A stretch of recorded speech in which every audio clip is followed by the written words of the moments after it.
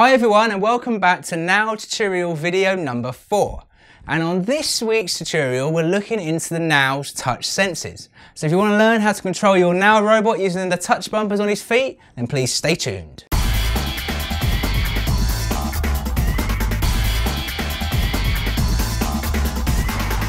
Hi guys, I'm Philip English from RoboPhil.com. Now on this video we're looking into doing some programming around how to use the NAO's onboard sensors. As discussed on earlier tutorials, NAO's has sensors all over his body.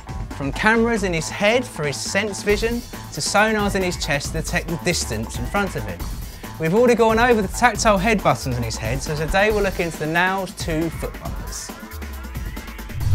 Right, hi guys, and welcome to the NAO sensing tutorial. We're looking at NAO's bumpers. So just jumping straight into it, we will make sure we're connected to the NAO. So there he is on the right hand side. I'm just going to wiggle his arm.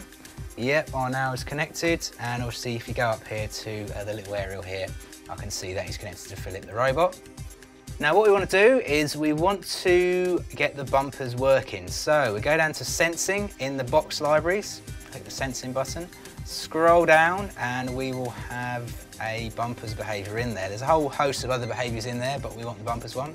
Drag that in to the main workplace and then we want to connect it up. So drag a noodle out, as you have seen before, and connect it up. Now if you hover over the, uh, the output buttons, uh, the output squares, we've got the, um, the top one is for his left bumper and the bottom one is for his right bumper so you can see which one is which. Now obviously we want the bumpers to do something every time we hit them so we're going to change the NAO's eye colour. So to do this we will go into the LEDs and not in animations but into fades, this is in the box libraries again and we will bring into the workspace two eye LEDs. Now again, as you know, we want to connect them up, so that's going to go to his left bumper and that is going to go to his right bumper. Now, so what we're going to do, so we can see this on camera, I am going to make one of his bumpers produce a bright light, so maybe a yellow for his eyes, and I'll make the other one produce probably a black, which means his eyes turn off, so he can see it well on camera. I'm not sure how well the different colours are going to come out. So clicking into the eyes LED for his left foot, and we will make this a bright yellow colour and hit OK. Then back out to the root folder and back into his right foot bumper and we will make this a nice black colour. So that will mean that his eyes will switch off. So he's all connected, he looks good and we will hit the play button. Now if I hit his right uh, bumper, his eyes will go black or switch off. And then I've hit left, left button his eyes will lighten up again and show right and left. Even faster, right, left. And you can see that his eyes are working when you hit his bumpers. Brilliant. Well done guys, you can now use NAO's foot bumpers not only to change the colour of his eyes, but to stop and stop any behaviour you wish. Now have a play with linking other behaviours to the bumpers. Maybe play a piece of music when each button is hit or perhaps try to build a conversation with the speech recognition tutorial from last week so he starts a different conversation every time you hit the bumper. Have a play and use your imagination, guys.